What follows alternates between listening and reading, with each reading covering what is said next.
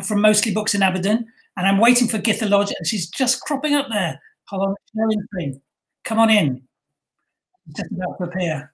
This is technology at its finest. This is amazing. Excellent. Hi. I'm, uh, You're looking I'm very glamorous there, Gith.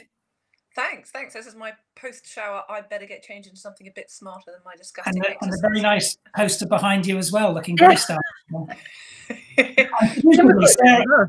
Usually Sarah, has a bookshop behind her because Sarah is from Mostly Books, an independent bookshop in in Abingdon, uh, and she's kindly agreed to join us to talk about her her um, shop and what she's doing in this era when there is a large sign outside your shop, presumably saying closed. Yes. Yes. I don't like my shop being closed, but yes, it is at the moment. That must be a very sad thing to do. It is. Um, yeah. I mean, we, we're closed physically, but we are still going in terms of uh, orders. So we're, we're taking phone orders, internet orders, email orders, you name it. Carrier pigeon, we'll take it. Um, but it is very strange not having people coming into the shop because that's a big part of what we do and what we what we love about the job.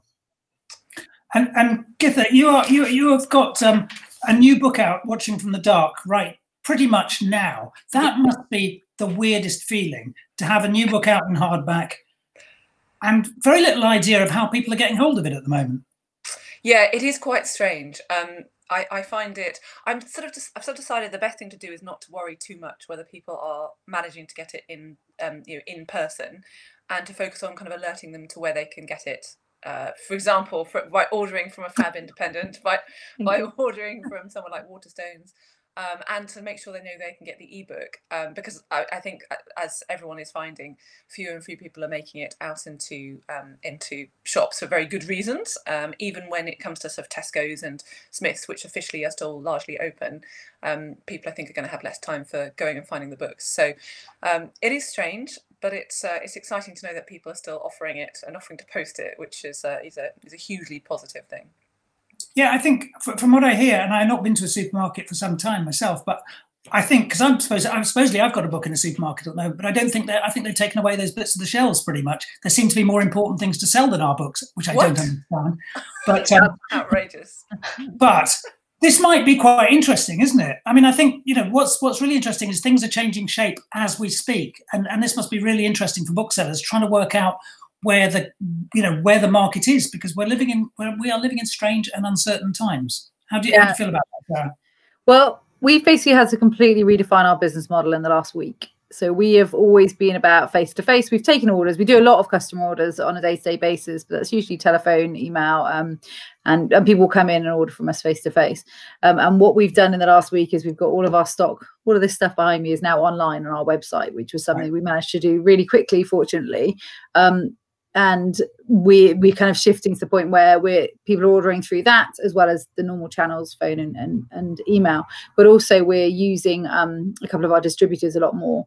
So where whereas previously we would have had the books come into us and then we would have been responsible for distributing them, now we're basically taking the order and then we're pushing it through the distributor directly, which is um which is it seems to fingers crossed it seems to be working quite well but it's just uh, it's just trying to work out how that process works and how that links in with when we take payment and what we then do at the point where when the shop reopens, there's more of us here, and there's lots to think about. But at the moment, I'm just kind of trying to do what I can to just keep keep the business flowing. I've got down the bottom here. There's a little crawler with how I'm you really can buy impressed books, by that. mostly books. Oh, I hope thank I've got it right. Um, Amazing. But um, I mean, it's really weird, isn't it? Because you're you're relatively new at Mo- Mostly Books. You bought what? It's a couple of years ago. You you bought the bookshop. Is that right? It's three years. Three Three years years. in May. Yeah, I can't believe it's been three years. It feels like about eighteen months, but um, yeah, it's gone so quickly. Um, so yeah, it's it's kind of it's kind of a strange thing. To, oh, it's strange thing to happen at any time. But I just got to the point where I kind of felt like I pretty much had most of it covered, and now it's like massive curveball, and who who who knew what what um we had to deal with. Yeah. Um, because um, it's not. Yeah, like I was saying, it's not the shape you imagined a bookshop to be right now. I mean, a bookshop is something that faces out. I mean, it must be very. We're used to. You know, Githa and me are used to sitting at home for lar- not talking to people for large chunks of the day. That's kind of probably secretly part of the reason why we chose to do what we do. But you're completely opposite. I mean, it's a social business, book buying, so it must feel I'm- quite hard. Yeah, I mean, I actually love that bit so much, so much so that I had to build myself an office out the back of the shop because what I was doing is I, when I was trying to do work, I would just get distracted by talking to customers. So I have I have a shed at the back that I lock myself into um, when I actually have to get stuff done, which yeah, I guess that's kind of what I'm having to do now is kind of just lock myself in the shop. But yeah, it's a very different beast. There's a, there's really good social interaction on um, on social media with all of this though. There's a great network of independent booksellers across the country, and we're all right. just kind of helping each other out, which is amazing. Lots of advice and lots of moral support messages flying around. Yeah, it's wonderful. It's really good. But people are so great. Aren't they? Aren't they? I love this industry. This is fascinating. So you're you're all talking to each other about what the shape of bookshops, you know, giving each other tips about how to do this at the moment. Yeah, and it's been invaluable. So there's a um the Booksellers Association set up something called the Booksellers Network. Um I want to say a year ago. It's probably longer than that now. Um, and it's just as simple as we have a few networking events a year and we have a Facebook group. And the Facebook group is just invaluable because we're all kind of far enough apart from each other so that we don't it, we're not in direct competition. So we, we share ideas a lot. And we do that when we go to um, the big networking events as well. It would have happened at the London Book Fair if that happened a few weeks ago. And we have an annual conference with the Booksellers Association and various trade shows. And we all just get together and bounce ideas around. And I mean, it's been like absolutely fundamental, the information that other booksellers have given me to help me build their business. Um, I'm going to come to you, uh, Gytha, in a bit, but I've just sort of, I just, I'm, I'm fascinated about the, book, whole bookshop thing. But why did you? So you you moved there to open to um, buy the shop. I think about three years ago. What on earth made you buy an independent bookshop at a time when they weren't really doing very well? I mean, they've been doing a lot better in the last three years, gradually, but it's been you know it's a tough old business. Yeah, it was an interesting decision. Um, I used to um, I used to work in finance. I used to work in investment banking, um, and uh, I kind of I, I wasn't really enjoying it, so I, I quit my job. Various things happened. My um, my my dad got sick and then he passed away, and it kind of makes you think about life and what you're doing and how you're spending your time. So I went and travelled for a year, and um, this is an absolutely true story, but it's it's very it's a very middle class story. I was um I was I, I was in Chile, and I had a conversation with a woman, uh, sorry, a couple um whose whose village had just had a, a lovely independent bookshop opening and uh, it was doing really well. And I'd always loved books, so I just kept thinking I'd like to do it. And then hearing them say the indie bookshop was working well in their small town, I thought, well, if it can work for somebody else, why can't it work for me? So then I came back and thought I'll make it happen.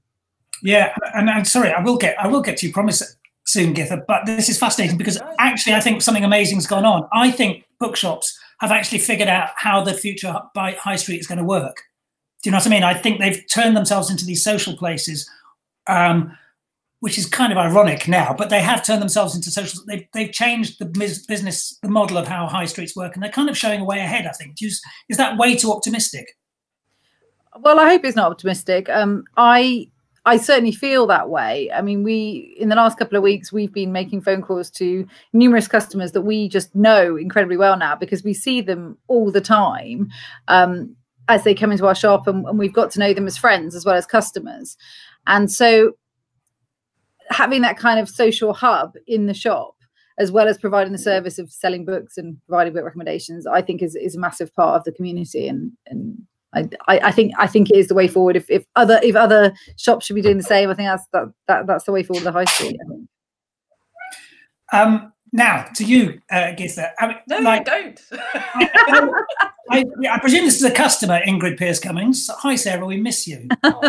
yes, she's sure a as well. Um, but I bumped into you at an event, which was pretty much around the time you were launching your debut uh, She Lies in Wait, yeah. which was um, some point last year. I think it was probably last spring, was it? I can't really it remember. Was, it was February, I think. Yeah. Right. Okay. So slightly over a year ago. And what a fantastic moment that is when a debut's coming out. Um, and, and it went, went very well for you, didn't it? It did. It went really well. I was, um, I mean, there was lots of neurosis on my part at every stage, regardless of how well or not it was going. Um, but I I really enjoyed that. Um, I really enjoyed the all of the time since it came out, and I felt incredibly well supported. I think having a publisher who is really you know behind it and knows that you need a bit of hand holding uh, is key there because they they really did michael joseph uh, just fantastic they are um, ultra supportive, and they they loop me into everything, including how the marketing worked. Now, I used to work in marketing, so I really wanted to know all the data, and I was obsessed with the data. And instead of just telling me to sort of you know sod off and write, they told me uh, all the, all the stuff that was going on and really kept me in the loop, which made me feel like I was part of things. And I think that was yeah, incredibly good for uh, you know the panic levels rather than sort of just if I just sort of let them get on with it, I think I would have been worrying. So so that was really good to start with, and um, and then getting the Richard and Judy um, book club was really really good. Uh, it made such a difference just to you know people just knowing about it and talking about it, and um, it was really interesting to see actually. Is even by december when the paperback came out i was still at the point where most you know pretty much everyone hadn't heard of me. And i'd say still the case that most people haven't heard of me but i saw it tipping on the internet between people saying oh you're reading that book? I've never heard of it to people actually saying yeah. i've seen this one around and it was the best feeling in the world just knowing that people had seen it and that it was out there. So that was all it was all really good. And i um yeah i had a had a a blast uh, doing all that, and and it's sort you know continued on even into book two, which is a is a very different beast, I think, but um, yes. still fun. Yeah. Um, let me. Sh- uh, so tell tell me about um, watching from the dark because that's. I mean, again, it's a police procedural. It's got the same character, Jonah uh, Sheens in it. Um, but the beginning's very different. It's, it starts with one of the creepier. It's, it's it starts from a kind of even darker place. It does. So it starts with uh, a man logging on to uh, video call his girlfriend and instead watching someone kill her, but never getting to see who it is. Mm. So it's um it's a bit more of a uh, yeah it's a, it's a bit of a darker start. This is not a cold case. This is very live, uh, and Aidan, who is the the young man who is witnessing it, is in a very difficult situation because for all sorts of his own reasons he doesn't want to talk to the police. So he then has to make some seriously big decisions about what he's going to do when this has happened. Um, and um, yeah so it's uh, rather than rather than going for another um, sort of case based in some nostalgia and uh, a time past, which is what I did with She Lies in Wait. I wanted to do something that was a bit more contemporary, and particularly where technology then played a part again, because that's something that didn't happen very much in She Lies in Wait. You're looking at a 30 year old mystery there. And in this one, I really wanted to look at how technology changes things from that very first moment onwards. Because um, She Lies in Wait is set in the early 80s. That's right. Uh, it is early 80s, isn't it? That's right. Yeah, 83. Yeah. Right.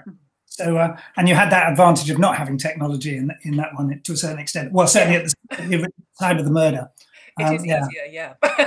it is easier. And did you learn much? I mean, like it's great. You know, I think the fir- anybody's first book is like an immense thing. Uh, the first book just seems like a mountain to climb, and then somebody says, "Oh, you've got to have the, the other one finished and ready," and it's a whole different approach. But also, you learn. So, do you find you've? And I do know you'd written stuff before, but had you looked, you know, did you find it very different process writing the second? That was a long yeah. question. We've got another one from Andy Hill I want to ask afterwards. Oh, no, it's a great question. Uh, I, I, I found the process sort of sort of similar but accelerated, I think, um, because with the first one I'd rewritten and rewritten over quite a long time, round a full time job, um, yeah. which was more than a full time job, and I really struggled to actually fit the writing in at that point. Um, whereas this one obviously happened quite a lot more quickly, which meant mainly that I had to accept that the first draft was going to be seen by people. And I wasn't going to get to show a nicely polished version at the mm-hmm. very first. And that took some, you know, getting over myself because I really, really didn't want to be sending something that I knew. I, I, I finished this draft and was like, but it's terrible. There's a million things to change and I want to do them. Um, but I just had to basically say, this is dreadful just read it and and then we worked on it together so it was it was kind of compressed and i and that was a main change i think um, yeah. and as you said because i'd read i'd written quite a lot before um, in theatre and also other novels for kids which um, are currently on Wattpad, the big online writing site, it didn't feel such a big deal to write another book. And in fact, because also I'd had a book before this for adults, which didn't sell to any publishers, so I'd been through the process for that as well. So, um, so that side was okay. It was that that thing of having to actually do it, you know, within the year, getting it submitted, and I guess not getting to be really picky about it at the beginning. Are you are you getting much um, writing done now? Then, how are you finding the the isolation leaves does it leave space for writing or is it the opposite well i think it's much i think my days are much harder because i did have my nine year old at school and i would go into coffee shops and write which really suited me um, and particularly coffee shops which are based in bookshops. That's my thing. So uh, that, that's uh, Waterstones not being open anymore is obviously very sad. um, so I used to go out. I used to have complete clear space, the cycle ride there, all the rest of it, and feel really kind of focused. So now I'm trying to do it around some homeschooling and the word mummy happening about 95,000 times a day. Your, your boy is what, 10 about? He's no, he's nine. So yeah, nine. nearly 10, nearly 10. So he's, yeah. uh, you know, very lovely and, you know, independent in some ways. But given that there are only two of us in the building, I don't actually understand why the word mummy has to happen quite as often. quite a lot. That's it. That's a really creepy start to a book there already. What? Yeah. I have absolutely. Um, I'm I'm totally in awe of everyone that's that's doing the homeschooling thing with their kids at the moment. I think it's it just power power to the parents as well. So. Oh, and I mean, I think also, oh my gosh, teachers, we love you even more. the other thing. Yeah. Yeah. yeah.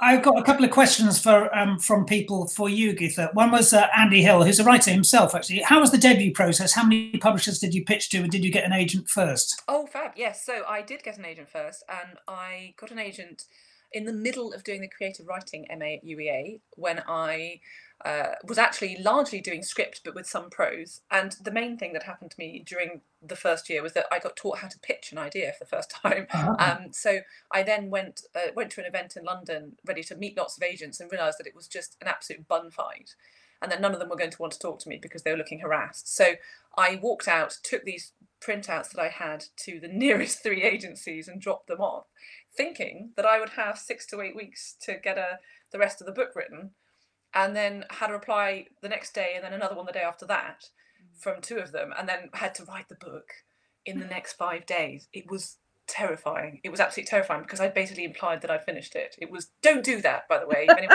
wow, do we do that. that? Sounds a perfect way to do it because you know, the pressure it's great. Right. It um, but having done that, then I had this sudden revelation that actually this is a really stupid way to pick an agent. So I just thought, why, why don't I actually think about the agents I wanted, not the ones that were geographically closest to the place I was um, And I'd always, always had in mind um, uh, Viv Schuster and Felicity Blunt from Curtis Brown because I'd met Viv uh, in the ladies' loos in Ely Cathedral once, and um, and she just was just hilarious. And we didn't talk about we didn't talk about writing at all. We were talking about um, the uh, the music that was going on because it was Margaret Atwood's book launch, The Year of the Flood.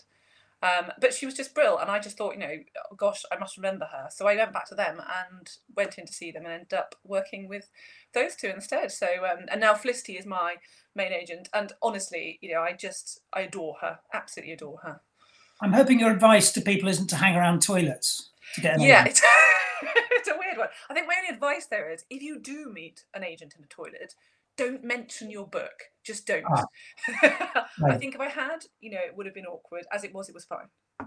Sarah's asking, why did you uh, place She Lies in Wait in 1983? Oh, good question. I love the 80s. I have that.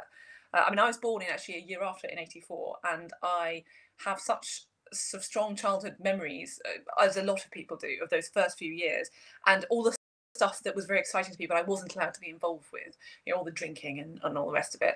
Um, and I just really wanted to set something then. And I also thought there's a real power to that feeling of, you know, nostalgic feeling of going back to another time. Um, it's why I picked the New Forest as well. Um, and I um, really, I, I really liked the idea of paring it down so the tech wasn't there as we talked about earlier so that this was a much kind of purer investigation where you know they didn't even have DNA because of the time that had passed, yeah. and and uh, so that was the, the, those a lot of those reasons were behind the decision. So oh, and it was a very hot summer. It was a very hot summer, 1983, which uh, which which made a difference, um, as well as being the year before 1984, when uh, when in George Orwell terms everything. You couldn't have named it that anyway. No, no. Did try to name it 1983. I, I did. I did set my first series was set around the 60s, and it was a real discovery finding out what people couldn't do in the 1960s. It was fascinating. I set, did an entire first draft in which a 22 year old WPC was the driver. And then I found a woman who served in 1968 in the right division. And I said to her, Here you go. Look, I've got this great idea. And I explained what happened. She said it couldn't happen because women weren't allowed to drive police cars in 1968. Oh my lord! And you kind of forget the world was like that, don't you? Do you know what I mean? So I had to sort of tear up the draft and start again, but it was good for it because, um, you know, it's um, you know, it's it's it's it's good to have to you know work out where the, you know the bit between reality and the made up bit your book fits, if you know what I mean, when you're writing the story in a historical time. But anyway, I want to talk a bit more about um, about mostly books because last time I went there, it didn't look like this. Hold on, it's changed. Oh look! I love it. I'm so proud. oh, you just inside there in the dark. In Sorry, this, in, are you just behind this window that I'm showing you? Actually, if well, I could. Yeah. a live stream, would I be able to see you in that? I'm window? kind of sat diagonally. I'm kind of behind the door, so oh, almost okay. directly behind the posts between the door right. and the window. That's where I am. Yeah. But you've changed. Yeah. You've changed. Yeah, I know. Um, yeah, I um, I so when I took over the shop, I obviously inherited everything, the branding and everything and the name, and I loved, I loved it. Um, but I, I kind of felt like I wanted to freshen it a bit, um, and I did that with the interior really early on. So I basically refurbed the entire shop. We did it in um four days in the June after I took over the shop, which was no, no, yeah, it was four days, four days. Um, we closed on the Saturday night and we reopened on the Thursday morning. Um, and it was that really hot June, you know, June 2017, and um, we were literally we were painting table legs, and they were drying before we'd finished painting them. It was like it was crazy. So I did all the inside, and I was really pleased with that. But um, I kind of felt like the fronts needed a bit of a bit of updating. So I and it took it took me so long to work out the logo and the color. It took about 18 months, but we got there Did you, September. Is the logo yours? Is that your own? No, I got somebody to help me do it, but I was quite I was quite specific about what I wanted, shall we say? taskmaster there.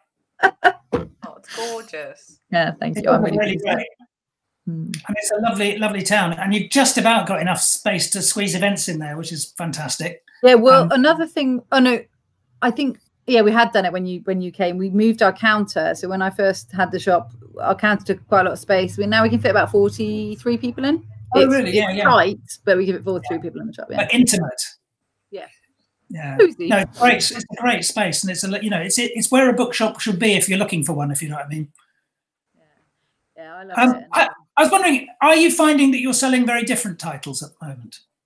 I, have seen some great lists of, of, of, books to distract us. You know, the sort of, you know, are people reading a lot of P.G. Wodehouse or something like that at the moment? I have had a bit of that. I've had a, a few people um, you know, requesting books about, you know, the end of the world. which is a little bit depressing. But no, generally, um, we're following similar trends to what we were seeing in the shop. Um, the one thing, obviously, that we aren't seeing so much, we're doing postal orders, is a lot of the big chunky hardbacks are, are kind of tailoring down a bit. A lot of people are going towards paperbacks.